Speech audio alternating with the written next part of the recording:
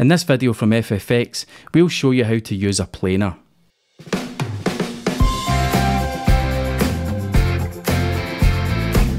A planer is the tool to use for smoothing and finishing timber.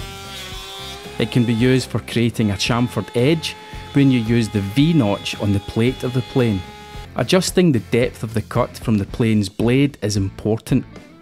Incrementally increasing the depth of cut per pass ensures a smoother, accurate finish and it helps prevent damage to the blade or the workpiece. The motor will rotate the plane's blade and this is what makes the cut.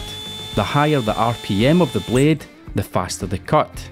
When making a cut, it's important to rest the front edge of the planer on the material first before starting the motor. Then once the motor is spinning the blade at maximum speed, slowly introduce the rest of the plate to the material.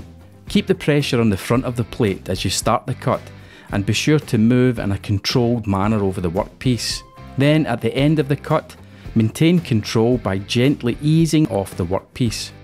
And remember, incrementally increase the depth of cut with each pass until you reach your required depth.